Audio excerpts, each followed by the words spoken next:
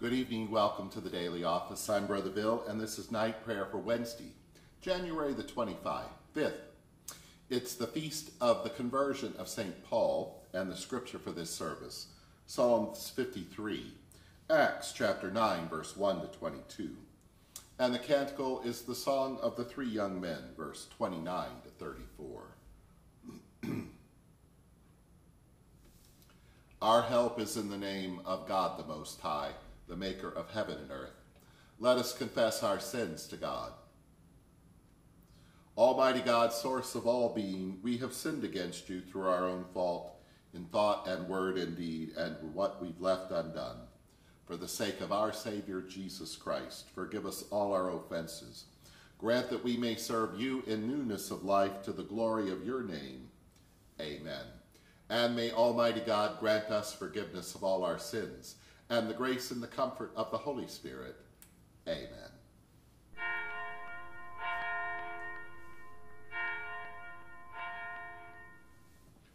O God, come to my assistance, make haste to help me. Glory to you, source of all being, eternal word and Holy Spirit, as in the beginning, so now and forever. Amen. Alleluia. Alleluia. Fools have said in their heart, there is no God above. Alleluia. Psalm 53.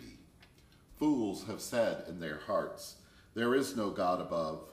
Their deeds are corrupt and depraved. There is no good person left. God looks down from heaven on the peoples of the earth to see if any are wise, if any seek God. All have left the right path, depraved, every one. There is no good person left, no, not even one. Will the evildoers not understand? They eat my people as though they were eating bread, and they never pray to God. See how they tremble with fear, without cause for fear. For God will scatter the bones of the wicked. They are shamed, and God rejects them. Oh, that Israel's salvation might come from Zion, when God delivers pe the people from bondage, when Jacob, Leah, and Rachel will be glad, and Israel shall rejoice. Glory to you, source of all being, eternal word and Holy Spirit, as in the beginning, so now, and forever. Amen. Alleluia. Alleluia. Fools have said in their hearts, there is no God above. Alleluia.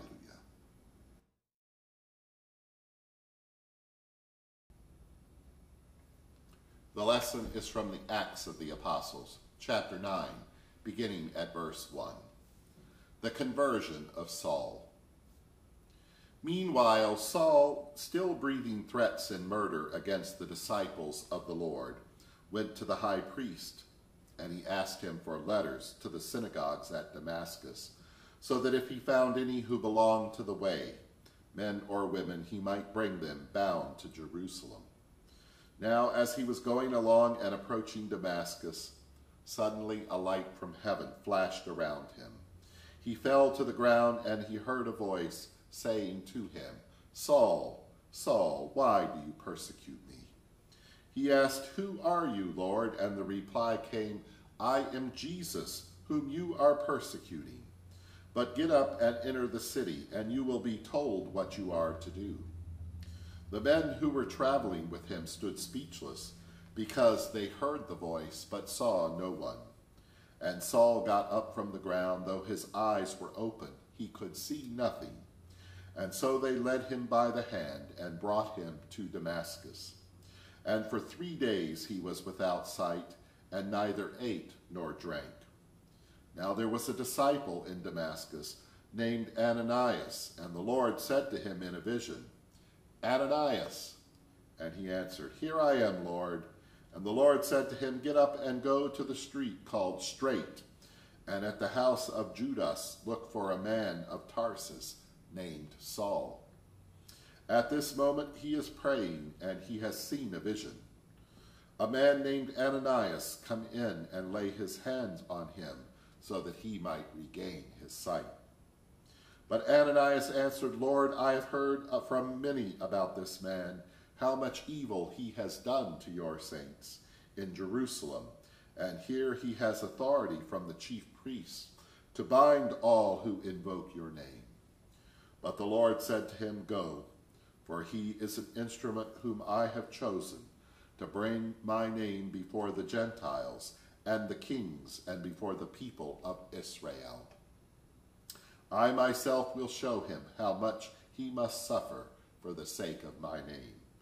And so Ananias went and entered the house, and he laid his hands on Saul and said, Brother Saul, the Lord Jesus, who appeared to you on your way here, has sent me so that you may regain your sight and be filled with the Holy Spirit. And immediately something like scales fell from his eyes, and his sight was restored. And then he got up and was baptized and after taking some food, he regained his strength. For several days he was with the disciples in Damascus, and immediately he began to proclaim Jesus in the synagogues, saying, He is the Son of God. And all who heard him were amazed and said, Is this not the man who made havoc in Jerusalem among those who invoke this name? And has he not come here for the purpose of bringing them bound to the chief priests. And Saul became increasingly more powerful and confounded the Jews who lived in Damascus by proving that Jesus was the Messiah. Here ends the lesson.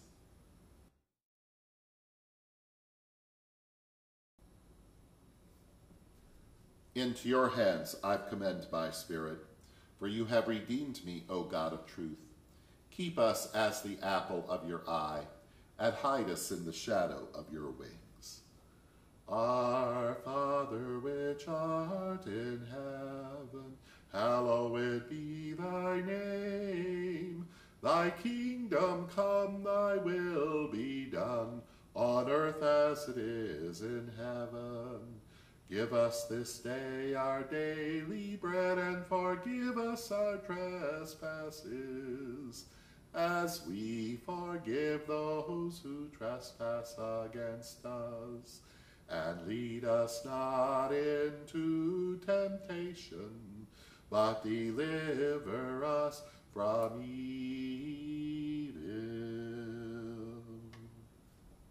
Alleluia. Glory to you, beloved God of our ancestors.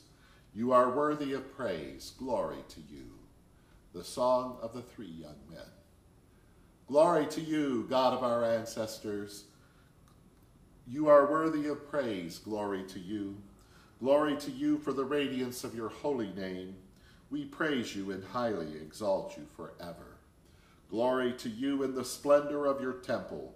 On the throne of your majesty, glory to you. Glory to you, seated between the cherubim. We praise you and highly exalt you forever. Glory to you, beholding the depths on the high vault of heaven. Glory to you. Glory to you, source of all being. We praise you and highly exalt you forever. Glory to you, source of all being, eternal word and Holy Spirit, as in the beginning, so now and forever. Amen. Alleluia. Alleluia. Glory to you, beloved God of our ancestors. You are worthy of praise. Glory to you.